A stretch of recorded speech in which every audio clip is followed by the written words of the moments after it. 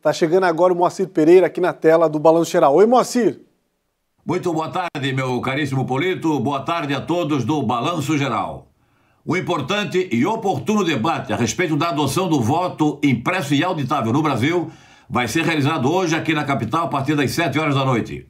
Evento promovido pelo Tribunal Regional Eleitoral de Santa Catarina, Instituto dos Advogados aqui do Estado, com intervenções iniciais do presidente do TRE, desembargador Fernando Carione, e do presidente do IASC, advogado Gilberto Teixeira. Participação direta dos advogados Cláudia Bressan Brincas, Márcio Luiz Vicari e Marcelo Peregrino Ferreira.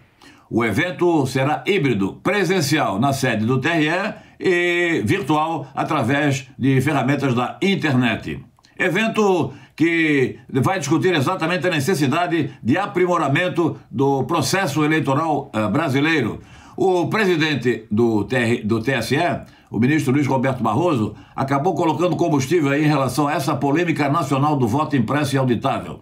De forma inexplicável, assumiu aí equivocadamente uma campanha ostensiva contra esta melhoria, este aprimoramento no processo eleitoral com mais segurança e mais transparência externou posições políticas na contramão da história e também do desejo da esmagadora maioria da população que quer, que exige transparência e, sobretudo, segurança no processo eleitoral, nas urnas, nas eleições e, sobretudo, nas apurações. O Brasil, como todos sabem, é um dos pouquíssimos países do mundo, se não o único, a adotar urnas eletrônicas de primeira geração e que são usadas há mais de 25 anos.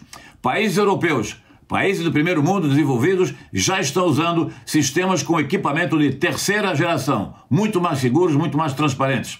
Afinal, pergunta que não quer calar: o que temem as autoridades do TSE e de outros organismos federais, estaduais e políticos e parlamentares contra o voto impresso e auditável?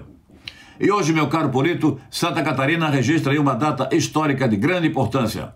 O município de Laguna, no sul do estado, está comemorando 345 anos de fundação. É uma das comunidades mais antigas aqui de Santa Catarina. Este ano, celebrando também o bicentenário de nascimento de Anita Garibaldi, a heroína de dois mundos. Várias atividades artísticas e culturais, além de outras, estão sendo realizadas durante estes dias de julho e também, principalmente, no mês de agosto. O bicentenário está envolvido em incontáveis atividades, eventos aqui em Santa Catarina, no Rio Grande do Sul, no Paraná, Minas e, sobretudo, em vários pontos da Itália. Uma exposição está funcionando no Museu Cruz e Souza, o antigo Palácio Santa Catarina, iniciativa da Fundação Catarinense de Cultura. E para agosto estão previstas incontáveis promoções aqui no nosso estado. O aniversário é comemorado no dia 30 de agosto, data de nascimento de Anita Garibaldi. O estado tem dois municípios em sua homenagem: Anitápolis, na Grande Florianópolis, e Anita Garibaldi, no Planalto Serrano, próximo da fronteira com o Rio Grande do Sul, ambos criados por ato do governo Celso Ramos. Laguna tem muitos destaques em mais de três séculos de existência. Foi palco, por exemplo, da famosa República Juliana, a versão catarinense da Revolução Farroupilha no estado do Rio Grande do Sul. República Juliana que aconteceu em 1839. Tem também, sobretudo, o, o marco do Tratado de Tordesilhas, celebrado entre Brasil e Portugal em 1494. Tem praias, belezas naturais incomparáveis, museus, vias e monumentos históricos que transformaram Laguna numa das principais cidades do Sul e de toda Santa Catarina. Um grande abraço, Polito. Boa tarde a todos e até amanhã.